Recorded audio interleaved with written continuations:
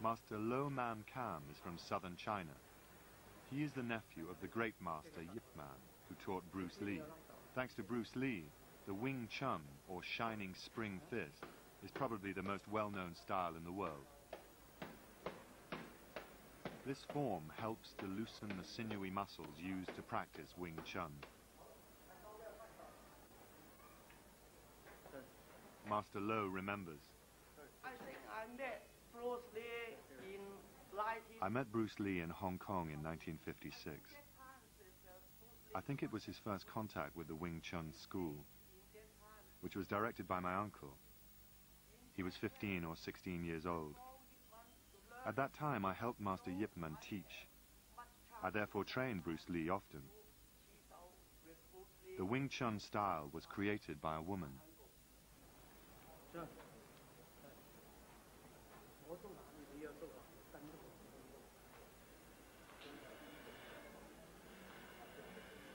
Students come from all over the world to study with Lo. Wing Chun concentrates mainly on arm movements.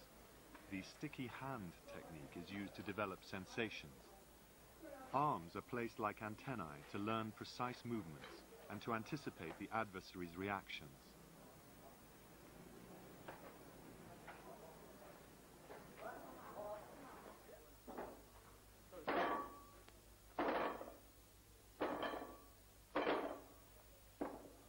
Wooden dummy used in Wing Chun is used to harden the arms and to practice blocks and hits.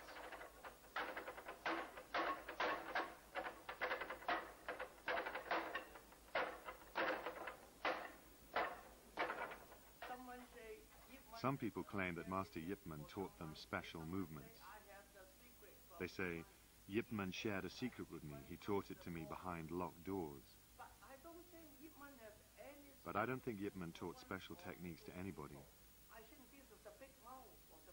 People who claim the contrary are crooks who want to extort money from their students.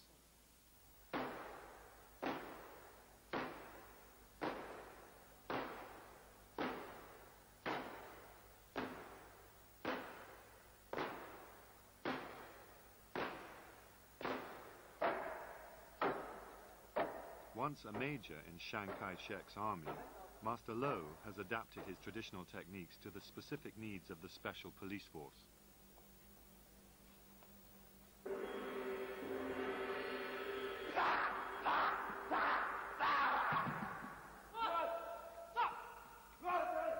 My kung fu training has no secrets. My lessons are open to everybody.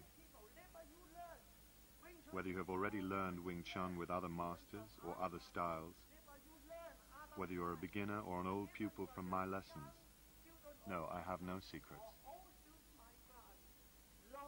The teaching of Kung Fu is not simply demonstrations and periods of instruction. Students must assimilate everything in order to maintain the techniques and know how to use them. If you follow this logic, there are no mysteries. The only secret with Kung Fu is hard work.